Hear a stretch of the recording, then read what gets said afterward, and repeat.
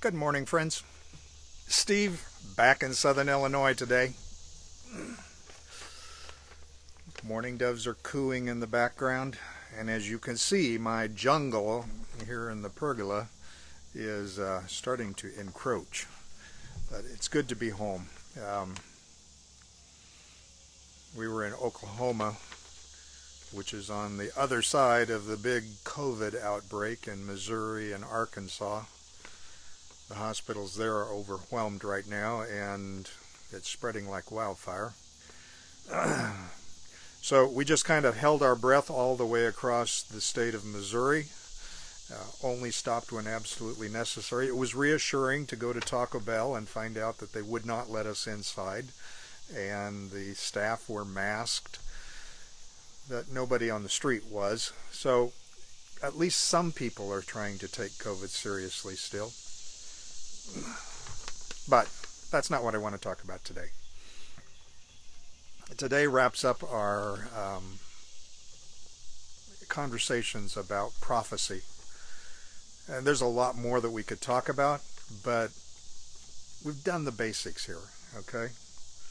Um, prophecy as a touchstone to a spiritual life brought strength to the lives of the people in the Bible because it gave them confidence that God knew the future, knew how to deal with it, and was actively working to make that future become their reality. So they could live in the present and be present to the people and the circumstances around them rather than constantly trying to create tomorrow. This week we were with my brother and my parents. And uh, in preparation, I asked them about some stories about our topic.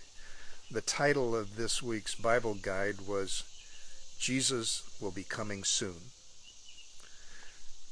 and I asked them for some stories about waiting and I was I was looking for stories about joyful anticipation and looking forward to someone coming. That's not what I got at all. Instead I got stories about being left behind. Vivian has this story from her childhood.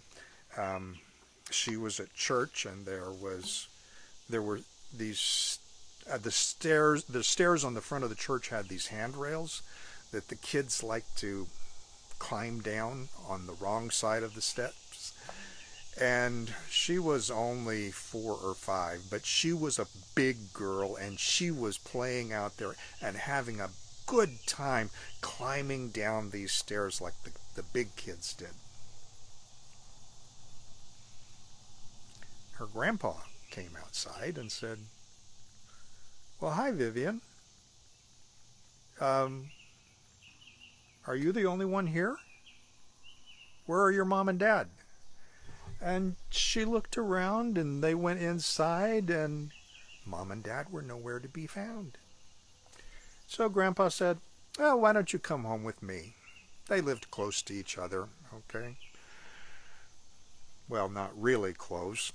Mom and dad would have to come about 15, 20 miles to pick her up, but Grandpa took her home with him, and then he called Vera, Vivian's mom, and he said, Vera, did you forget something at church?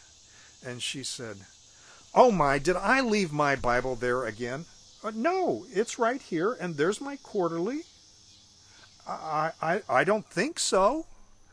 He said, Think carefully, Vera. Did you forget something at church?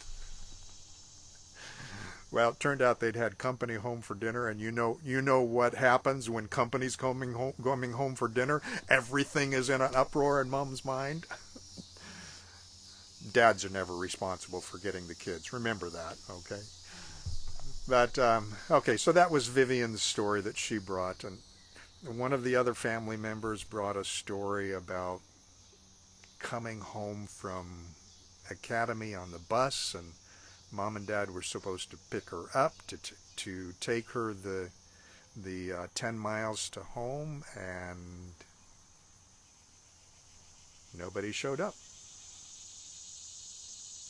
And she's there. This was a small town. The bus station closed. She's out on the sidewalk with her suitcase and a guy she doesn't know riding a motorcycle stops and offers her a ride home. Now, this was a few years ago and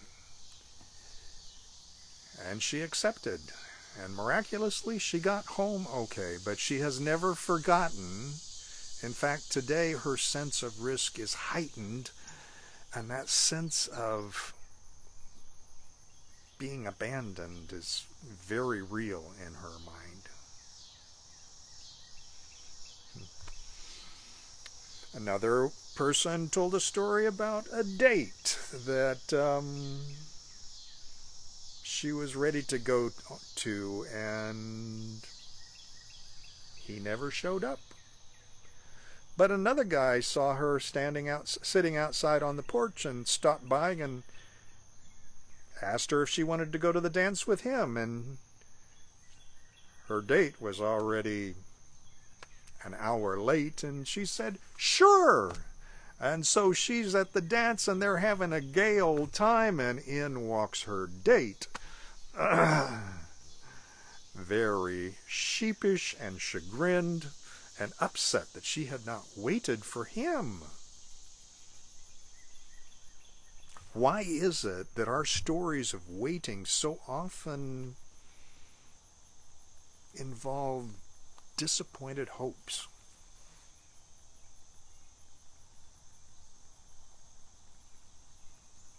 Are our stories about Jesus any different?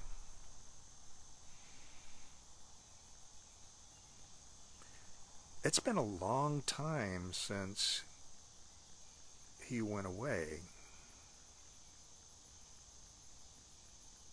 Has he forgotten about us? Have we been stood up? Or has he just decided, ah, it's not worth coming back? When we look at the lives of the people in the Bible, they had reasons not to believe those things. Jesus will come for you. In John chapter 14, verses 1 through 3, it's one of my favorite passages. Let not your hearts be troubled. You believe in God, believe in me. In my Father's house there are many, many rooms. If it wasn't that way, I would have told you. But I go to prepare a place for you. And if I go to prepare a place for you, I will come again and receive you unto myself. Jesus will come for you. As the disciples saw him leaving, he rose up into the sky and disappeared into the clouds above them. And they were standing there looking up, and two angels appeared next to them and said, You men of Galilee, why are you standing here looking up? This same Jesus that you saw ascend into heaven will come back in the same way. Jesus will come for you. Paul, in expressing his hope in 1 Thessalonians 4, uh, 15 through 17, we read it last week, uh, he, he puts it in such graphic language. Jesus descending with a loud shout, with the, the cry of the archangel, with a trump of God.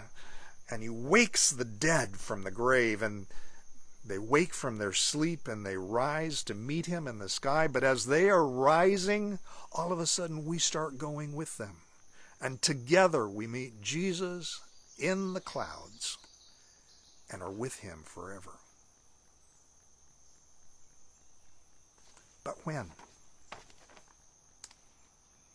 The big P prophecies of the Bible give us a timeline marching towards the end of this world's history. We've gone through the big four dominant kingdoms. We're living in the middle of the chaos where nobody's in charge, nobody's in control, everybody's striving, striving for dominance. Next thing on the agenda is Jesus coming in the clouds. In Matthew 24, Jesus talked to his disciples and gave them some signposts, things to watch for that would alert them to the nearness of his coming. They've all been fulfilled. And the book of Revelation, most of it is history already. Very few events in, in Revelation yet to be to occur. Friends, it could be any time now. But you know what? For us as individuals, none of that matters. Paul said that whether we're dead or alive, we will see Jesus coming in the clouds. That means that as far as my personal experience is concerned, Jesus will come in my lifetime. If I'm alive, I'll look up when I hear the trumpet sound. If I'm dead, I'll look up when I hear the trumpet sound because he will raise me up. As far as I can experience it, I'll fall asleep as I die and become unconscious, and suddenly it'll be like waking up to the trumpet calling me. Jesus will come in my lifetime and in yours.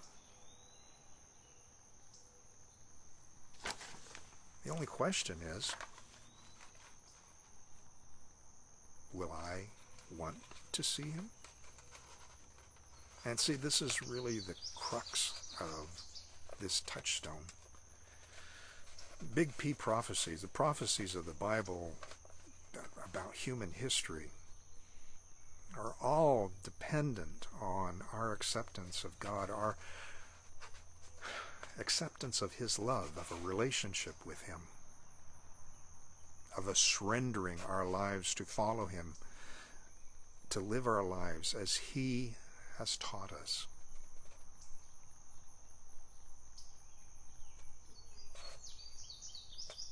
If I love him, I'll be happy to meet him. If I've chosen not to believe in him and I've rejected him, chosen not to live my life the way he instructed, it'll be another story. But that will be my choice, not his. He calls all of us to come to him. He offers all of us the hope of a happy ever after. He offers all of us guidance in our lives. Be safe, my friends. Be prudent. But above all, keep looking up. I'll see you next week.